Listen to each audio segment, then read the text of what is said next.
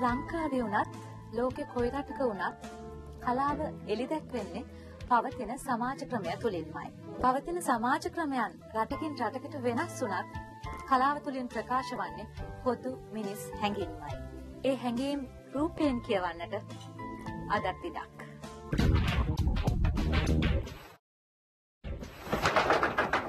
කලාව ඇතුළේ රැඳෙන්න නම් ඒකටත් ව්‍යාකරණයක් තියෙනවා. බොහෝ දෙනෙක් කලාවට පාතබන්නේ ඒ ගැන දැනුවත්ව හෝ නොදැනුවත්ව. අදත් අපි ඒ ගැන විමසන්නේ හාට් ටොක් තුළින්. හිතවතුනි අද හාට් ටොක් සමග එකතු වෙන්නේ සනත් ගුණතිලක.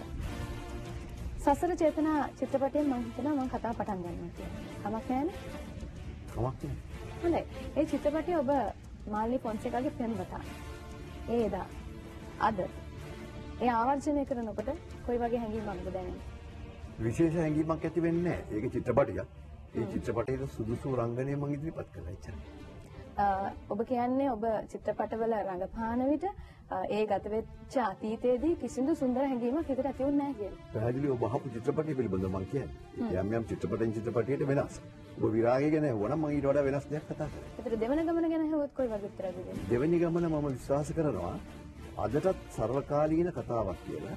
මොකද ඒක HD ප්‍රේමරත්නයන් ඒ වකවානුව තුළ ඊටාම පරිස්සමෙන් අ, කතා කරපු විෂයක් ඒක සියලු දෙනාටම නැරඹිය හැකි තත්ත්වයට ගෙනෙන්න පුළුවන් තත්ත්වයක් ඒ නිර්මාණකරුවට තිබීම හරි සතුටුදායකයි.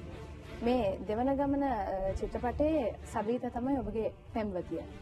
එතකොට මේ සනත් සබීතා යුගයක් තිබුණා. ඒ යුගයට ආදරය කරපු අ, රසික පිරිසක් හිටියා, ප්‍රේක්ෂක පිරිසක් හිටියා.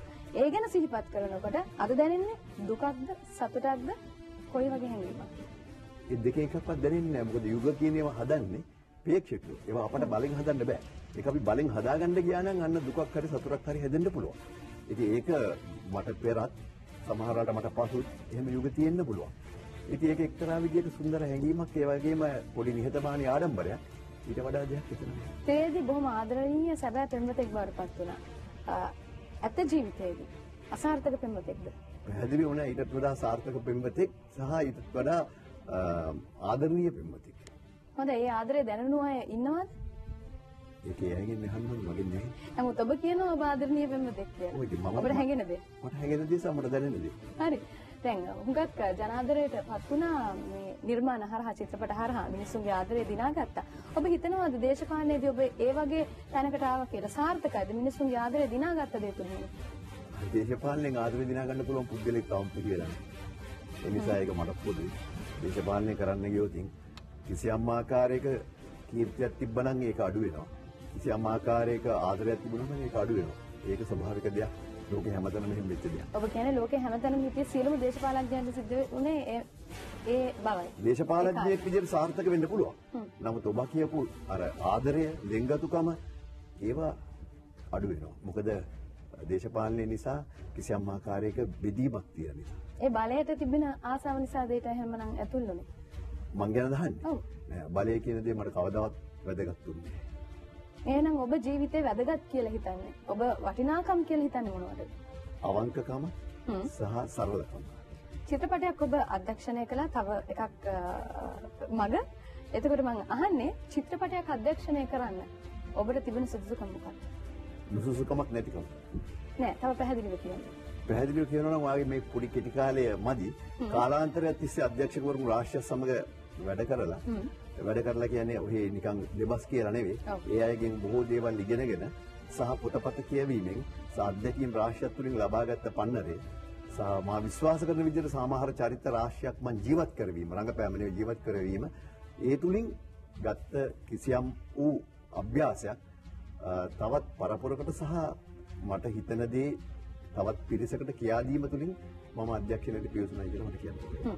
ඒ කොහොමත් එක රටක චිත්‍රපටය අධ්‍යක්ෂණය කරද්දී ඔබ කිව්වා නිරෝෂාගේ කැමැත්ත ලැබෙනකන් අවුරුදු දෙකක් විතර හිටියා කියලා. ඒ කැමැත්ත නොලැබුණා නම් එදාගෙන් එවැනි චිත්‍රපටයක් බිහි වෙන්නේ නැද්ද? පැහැදිලි වුණා.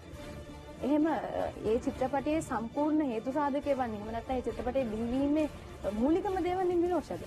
ඒ චිත්‍රපටයේ චරිතය රඟපෑමට වඩාත්ම සුදුසුම තැනක් කියන විදිහට මා දැක්කේ නිරෝෂා. ඉතින් එතකොට නිරෝෂා ඒ චරිතය ප්‍රතික්ෂේප කළා නම් ඒ චරිතය වෙනස් වෙනවා. චරිතයේ හැඩරුව ඒ ඒ පසුබිම වෙනස් වෙනවා. නමුත් ඒ ඔබ දකින චරිතය කවදාවත් ජීවත් වෙන්නේ නැහැ. එතකොට ඒ ඔබ දකින චරිතය තුලින් එන එක එකමත් එක රටක කවදාවත් චිත්‍රපටයක් විදිහට නිර්මාණය වෙන්නේ නැහැ. තව එක මේක ප්‍රශ්නය මට අහන්නට කාලය ඉතුරු වෙලා තියෙන්නේ. ඒක සීතුමයි. ගිරාගේ අරවින්ද සඳහා ඔබ විශාල කැපකිරීමක් කළා. විශාල විදිහට ඒක සූදානම් වුණා. ඔබ හිතනවාද ඊට පස්සේ නිර්මාණ වලට ඔබ එවැනි සාධාරණයක් ඉෂ්ට කළා කියලා? විරාගයේ චරිතය මිනිස්සු ගොඩාක් දෙනෙක්ගේ මනස තුළ තවමත් රැඳිලා තියෙන්නේ ඇයි කියන දේ ඔබ හොඳින් තේරුම් ගත්තොත් ඔබ ওই ප්‍රශ්නේ අහන්නේ නැහැ. ඔබ විතරක් නෙමෙයි කවුරුත් ওই ප්‍රශ්නේ අහන්නේ නැහැ. විරාගයේ වගේම කැපවීම රාශියක් කරපු චිත්‍රපට රාශියක් තිබුණා. පාලමයට ගත්තත්, කැඩපතක ඡාය ගත්තත් සිසලගෙන යන්නේ තිබුණා.